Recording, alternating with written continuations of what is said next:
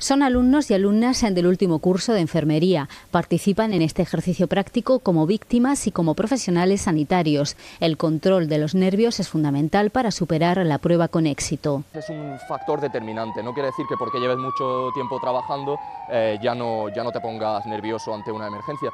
Y está bien que el alumno de enfermería con este tipo de ejercicio, antes esta gente se va a graduar en unos meses, serán los profesionales que se encarguen de nuestra atención en caso de que suceda algo así.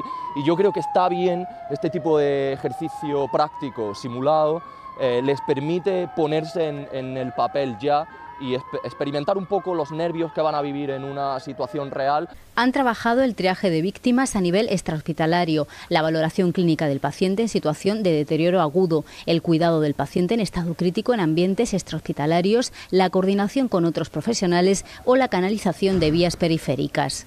Los alumnos eh, pues están muy bien, han mejorado bastante porque todo lo que han aprendido en los laboratorios lo están aplicando. Hace dos años se hizo también el mismo simulacro y la verdad que están, están aplicándolo muy están muy contentos.